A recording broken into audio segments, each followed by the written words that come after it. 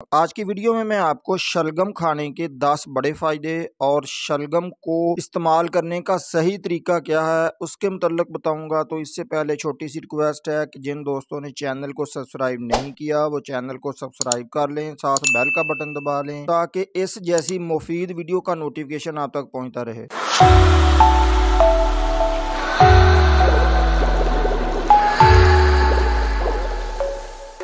शलगम का नबाताती नाम बरासिका ओले रईसा है। शलगम का ऊपर वाला हिस्सा मोटा और नीचे वाला पतला डोर जैसा होता है। ये सफ़ेद, सब्ज़ी माइल और सुर्ख रंग का होता है। ये मशहूर आम सब्ज़ी है, उसको कच्चा पक्का और सलाद में भी खाया जाता है। शलगम की तसीर गर्म होती है। दोस्तों, अब शलगम के दस बड़े फायदों के मतलब बात कर लेते हैं। नंबर एक, शलगम में फाइबर की मौजूदगी कुत हाजमा को मज़बूत बनाती है। पेट का अफार खारा दूर करती है, गैस और कब्ज का खात्मा कर देती है। नंबर दो, शलगम में आयरन, फास्फोरस और फुलाद बकसरत पाया जाता है। इसलिए शलगम हमारे जिसम में ताज़ा खून पैदा करता है, बदन की कमज़ोरी और लागरी को ख़त्म करता है और जिसम को ताकतवर बनाता है। नंबर तीन, शलगम में कैल्शियम होने की वजह से शलगम हमारी हड्डियों और दांतों को मज़बूत बनाता है। शलगम को कच्चा चबा चबा कर खाने से मसूड़ों और दांतों के अमराज दूर हो जाते हैं और दांत साफ़ हो जाते हैं। नंबर चार, शलगम में पोटाशियम और मैग्नीशियम की मौजूदगी की वजह से शलगम दिल की सेहत को बेहतर बनाता है। नंबर पाँच, शलगम में विटामिन ए की मौजूदगी की वजह से शलगम आँखों की बेनाई को तेज करता है और आँखों से इन्फेक्शन, दर्द और जलन का खात्मा कर देता है। नंबर छह शलगम जिगर को ताकत देता है। जिगर गुर्दे मसाने की पथरी को तोड़ देता है। नंबर सात, शलगम में विटामिन सी की मौजूदगी मौजूदगी हमारी जिल्द को जवान रखती है, जिल्द में झुरियाँ पड़ने को रोकती है और जिल्द की खुश्की को दूर कर देती है और जिल्द को फोड़े फिंसियों से बचाती है। नंबर आठ, शलगम पेशाब में रुकावट और जलन को दूर कर देता है। जिन दोस्तों को पेशाब रोक रोक कर या जल कर आता हो, वो एक शलगम और एक मूली को काट लें और इसमें हल्का सा नमक छड़क लें और आधा लींबू निचोड़ लें और उन्हें अच्छे तरीके से मिक्स करके कच्चा ही खा लें। पेशाब खोलकर आने लगेगा, पेशाब की जलन खत्म हो जाएगी और बार बार गुर्दों में पथरी बनने का अमल रोक जाएगा। नंबर नौ, ज्याबतीस और शुगर वाले मरीज़ अगर रोज़ाना शलगम का साग खाते रहें तो